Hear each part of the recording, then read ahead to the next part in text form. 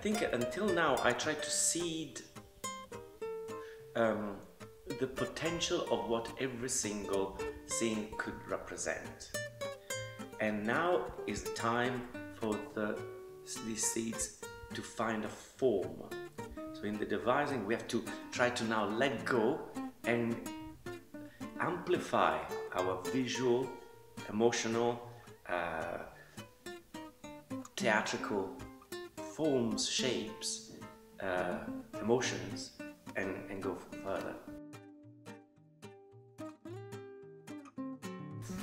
Totally.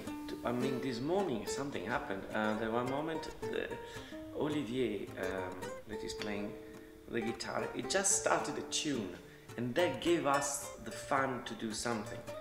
And um, we had a discussion this morning again about the moment with the alchemist, and we were, and I let them come back with ideas. So that's it's like, but I, I seed it what I wish that the scene could be, and now for them is they had one week of maybe brewing or thinking or imagining, dreaming, and that's where the creative. I hope that that comes now back to me as a tsunami.